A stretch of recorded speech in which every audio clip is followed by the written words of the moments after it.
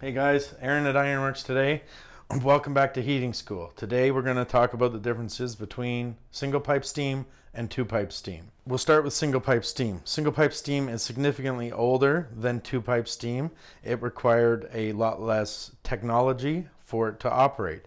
As you can see by my lovely illustration here, we have a radiator, cast iron, that has a single pipe coming to the radiator. That pipe will carry the steam into the rad and allow the condensate to go back out of the rad. Because the radiator is like a balloon and it's sealed, as the steam comes into the radiator, we need the air to be able to leave the radiator in order for the rad to get hot.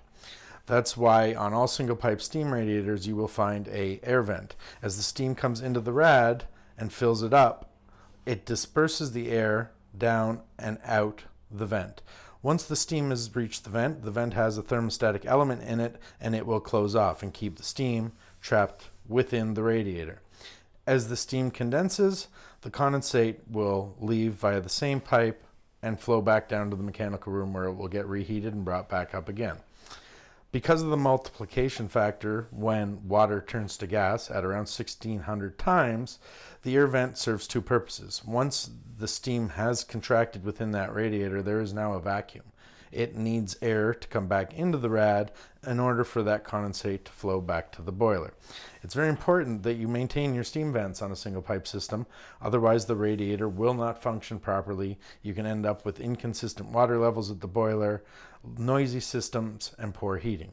Single pipe steam is by far the noisiest of all the heating systems because you have the steam and the condensate within the same pipe and radiator, what is happening is the steam, as it passes the condensate, boils little bits of the condensate, resulting in what most people would call water hammer in the system. The piping on a single pipe steam rad will be significantly larger than a two pipe rad because it has to do double duty. It's got to act as a gravity condensate return as well as the steam supply to the radiator.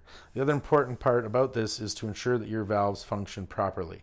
Most old radiator valves, the seals have deteriorated in them, and if you close that valve off, because the steam is so much denser than the water, the steam will still creep into the radiator.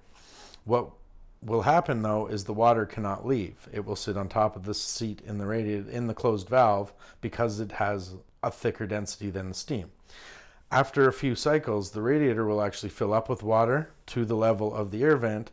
Because the water isn't hot, the air vent stays open and you end up with a leak on your floor. So very important, valves and vents must be maintained on the single pipe system. When we move over to the two pipe system, Functionally, it can be the same radiator. The only difference is now we have a second tapping for a steam trap and we no longer have an air vent.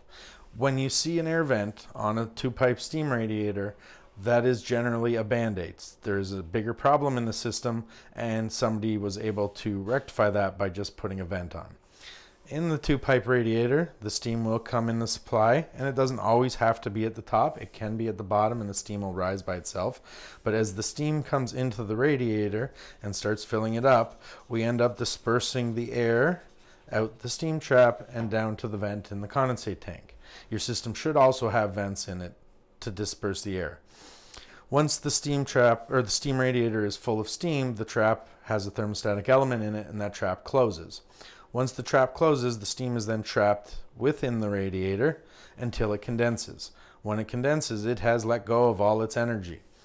Now the trap senses the temperature change because this is no longer steam here, it's water, and the thermostatic element opens and allows the condensate back down to the boiler, whereupon it will get reheated and brought back to the radiator. The system is significantly more efficient than single pipe steam because you do not have steam and condensate passing each other in the same pipe. Therefore, the condensate isn't cooling the steam and condensing it back to water as it's coming to the rad. You can get a drier, more efficient steam into your radiator.